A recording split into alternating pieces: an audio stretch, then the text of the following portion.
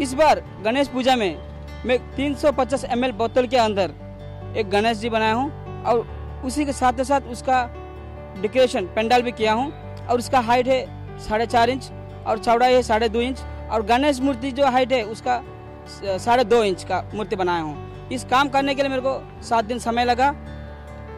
और इसमें मैं व्यवहार किया हूँ मट्टी और पेपर।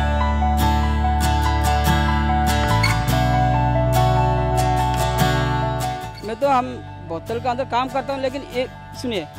पहले जो काम अलग, ये जो काम अलग, इसमें देखिए, जो, ये बोतल को देखिए,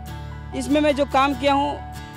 सीधा तो डायरेक्ट डायरेक्ट काम हो जाएगा, लेकिन ये जो साइड जो काम किया हूँ, साइड फेस, साइड जो डेकोरेशन किया हूँ, उसमें मुझे बहुत मैंने बहुत तकलीफें झीलना पड़ा मुझे।